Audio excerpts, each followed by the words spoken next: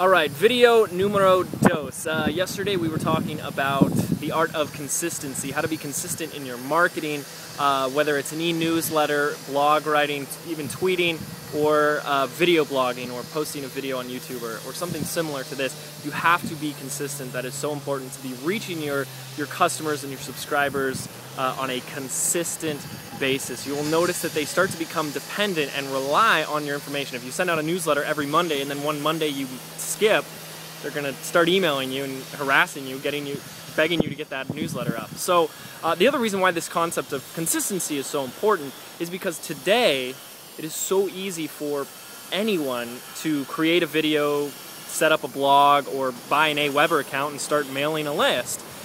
It has become so easy because the software is so available. So you need to be able to demonstrate to your market and to your community that, hey, I'm in this for the long haul.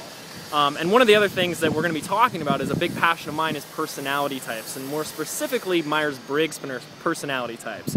And um, one of the, the big qualities that we'll be talking about is the is the N, which is stands for intuitive or intuition, and it's a great quality to have. It's only about 20% of the population, but you see it common in a lot of entrepreneurs and and risky uh, risk-taking business owners. And because the intuition gives you the ability to think big picture and have the big picture strategy. So I think that is very important with having consistency is that you say, hey, look, I'm in this for the long haul. I see the big picture. I understand that if I spend five minutes a day writing this newsletter and I do it either consistently daily, consistently weekly, I know that it will pay off for me in the long run.